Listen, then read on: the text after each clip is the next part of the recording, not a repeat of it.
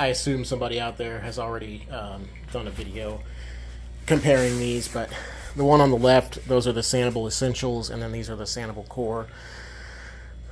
I've had these for, I don't know, two or three years or something like that. Um, and these just came out recently. So these are these are uh, like twenty dollars, and these are forty dollars. So is it worth the difference? Uh, probably not, but I still I still think that these are well worth the money.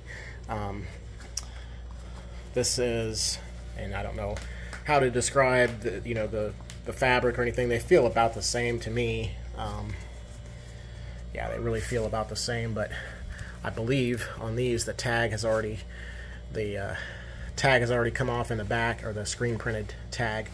So, um, but I think these are probably 100% polyester. Yeah, these are 100% polyester. Um, I assume they're probably um, both the same type of material. The difference to me, though, I do like these better. The difference is this right here, and uh, it's just it always just kind of gets in the way. Um, it kind of like pokes out weird, um, you know, and makes it look like there's something poking out there that, that shouldn't be. Um, so that that's the, that's the thing right there that I don't like is that it's like it doesn't really matter.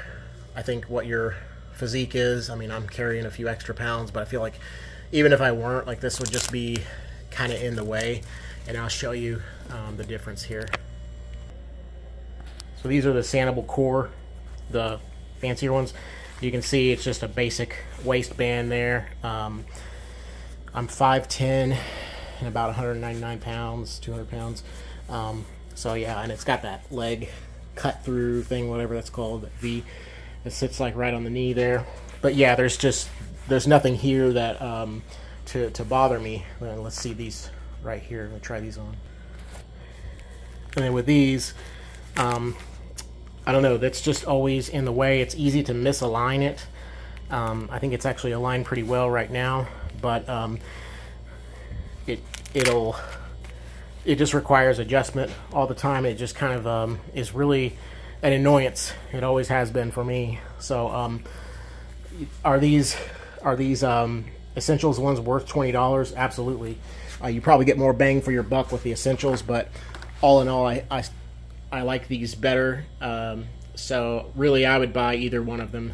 But um, if that uh, that adjustable waistband thing bothers you, then I would get these. The essentials also have the drawstring, but I have long lost that. I, lost that drawstring a long time ago, so I didn't really use it. So, hope this helps.